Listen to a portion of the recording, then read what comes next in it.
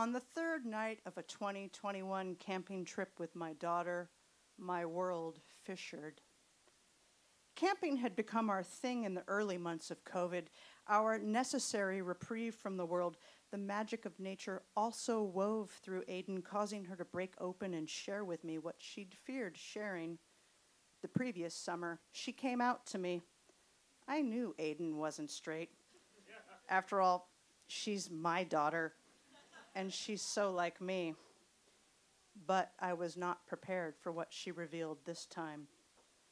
Like many teens these days, she has a robust personal world online. COVID required it, and her natural predilection for technology and the ease of hiding behind the screen honed it in. I had just cracked open a canned cocktail after a lovely day of hiking. The plan was to sit for a bit before dinner and a campfire. I handed her a small glass of what I was drinking because I'm that mom. she played some stupid game on her phone. I journaled, hiding my annoyance that even without us having cell service, she was on tech. The six smiles seeped into me. The calm of the trees and the crisp mountain air lulled me. Or maybe it was the alcohol. My reverie was broken by the sound of my daughter bursting into tears. I looked up in alarm. She gasped, Mom, I'm so worried about Aki. She keeps telling me she's going to kill herself. I can't talk to her. What if she does something? Aki was one of her online friends, a 21 year old girl who lived in, with her parents in England. She was mute, so it made sense that the internet was her world. And it made odd sense that she'd so, grown so close to my 15 year old, open minded, big hearted daughter. But I didn't like Aki. Aki was super dark. My daughter was already battling depression. That Aiden had suicidal ideations and had been cutting had been a revelation earlier in the year after she fainted in front of me, and I ended up taking her to Rady Children's. She was in intensive therapy and psychiatric care. I was trying desperately to keep her from the dark side. My instincts screamed about Aki, but what could I do without alienating Aiden? And where was the risk when this too old other kid was in England? Panic flooded me at the magnitude of her anxiety attack. Stamping it down, I turned to her. Honey, that's terrifying for sure. But, love, if you could text her, what would you be able to do? I don't know, she sobbed as I held her. When she regained the ability to speak, she said, Mom, I have something to tell you. I suddenly wished I hadn't had a cocktail. Aki is my girlfriend. We're in love. She's my soulmate. I felt the ground shift under me. My kid is precocious, but what 21 year old wants to be with a 15 year old who's across the planet? The illogic of it all hit me, but I immediately recalled my teenage years. When I was 15, my mom didn't like my best friend. She pronounced her a bad influence and decreed I was never to see her again.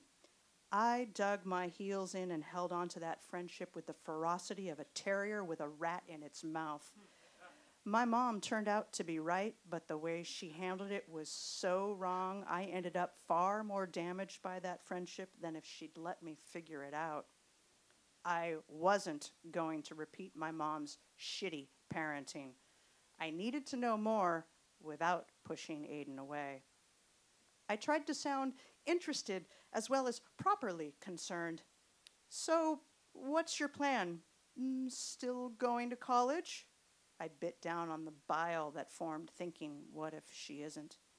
I am. Oh, good. Are you thinking England or here? As soon as I graduate from high school, Aki is coming here. I nodded. At least she wasn't planning on running to England. Does Aki being mute bother you at all? I mean, her ability to communicate with you will be limited, and kid, you're kind of verbal. How will it feel to never hear the words I love you.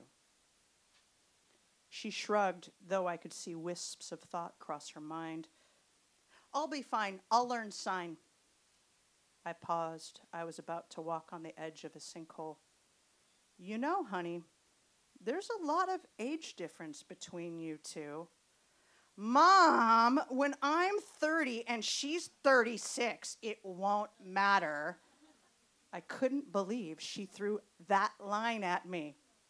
I almost rolled my eyes.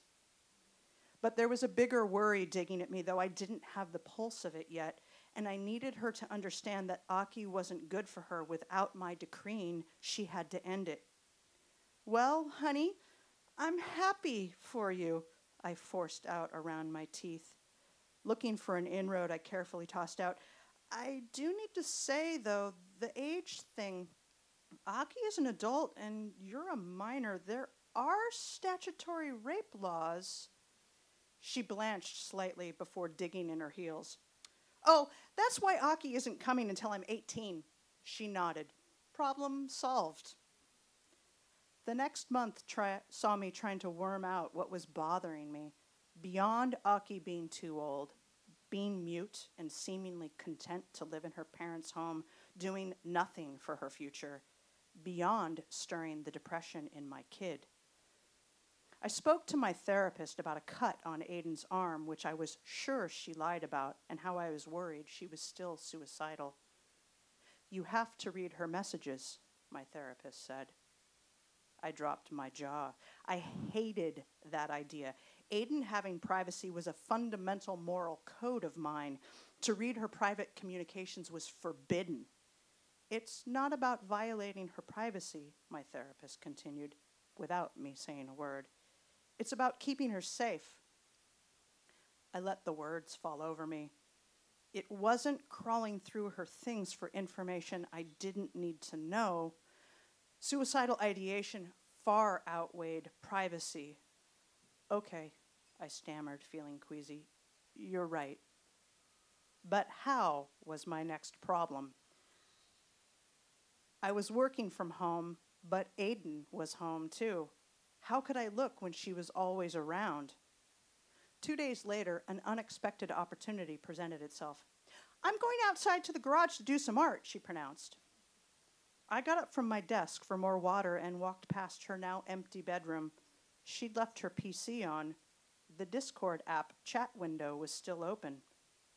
Looking around like a kid about to get caught rifling through her parents' bedside table drawers, I dashed into her room and sat on the chair. I scrolled madly while keeping an ear for footsteps. Breaking her lies about cutting was critical, but I could not let her catch me. I found clear evidence of the level of Aiden's obsession with Aki and the fragility of the situation. Aki regularly talked about suicide, and Aiden was terrified. Aki was Aiden's world. And me? They decried me a nosy, clueless adult. Aki promised to help Aiden be free of me, I would never interfere with them. Their love was too great. I didn't find anything about cutting, but I was chewing on something bigger, something that hadn't yet made itself clear to me. I could feel the risk of being caught increasing even as I wanted to scream. I scrolled to the latest message, hoping to God I hadn't made it look like I'd been in the thread. Over the next week, I seized every opportunity to tap her messages. The best was a two hour long driver's training session. But stupid me, I didn't have her passwords. Before the session, she had a PC problem. She asked for my help. I stood over her as she logged in and watched her hands type her password. One we win. The instructor showed up. As soon as the car pulled away, I ran into her room. Naively, I was still looking for cutting revelations. I was desperate to be right. I scrolled fiercely to reach messages from where she'd cut while we were camping and lied about it. Instead, the bottom of my cracked world crumbled under me. Aiden was sending Aki nude photos, though the photos themselves had been deleted from the thread. She was calling Aki mommy and her dom She was watching BDSM videos. My kid, who had not even had a first kiss yet. There was a sick depravity to it all, clear evidence of my child, my child being manipulated by an adult. I wanted to puke. I snapped some screenshots, but in my hysteria, I still fixated on proving the tamer issue of cutting.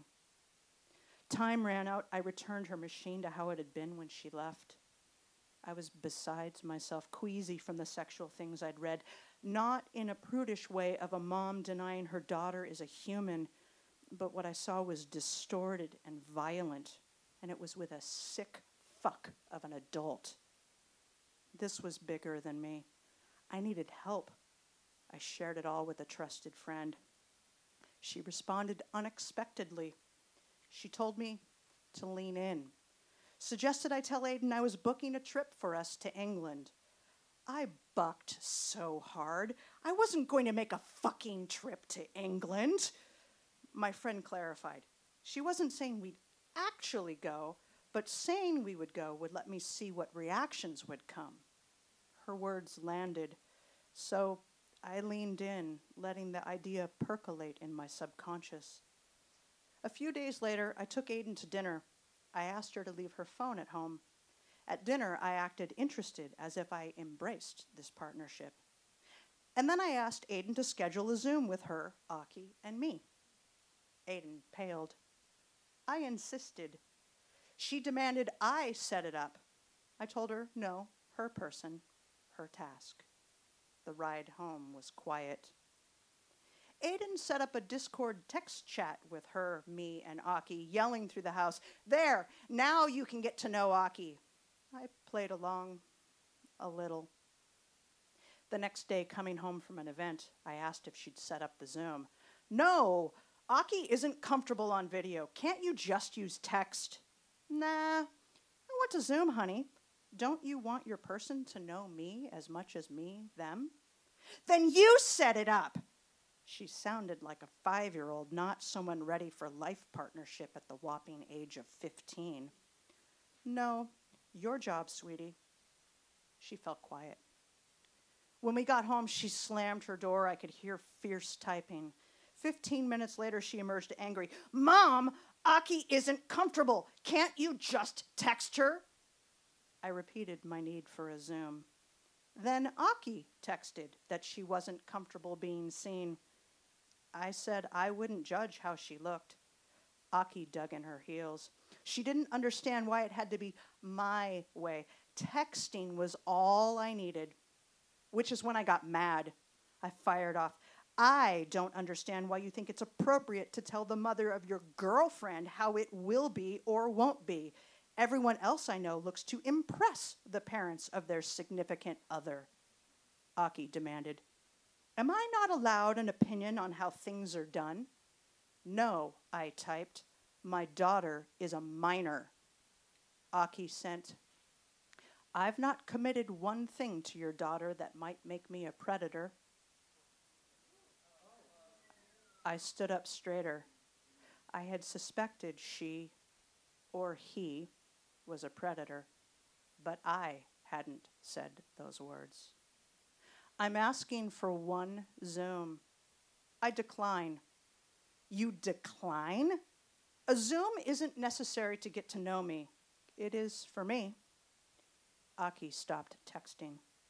A moment later, Aiden emerged from her room in hysterics. Aki had just said they were done, that it was for the best, and then had gone quiet. As Aiden came to me enraged and terrified of losing Aki, I hit a button on my phone, shutting off her access to the internet. She freaked more. What did you do? I let her rage, let her cry.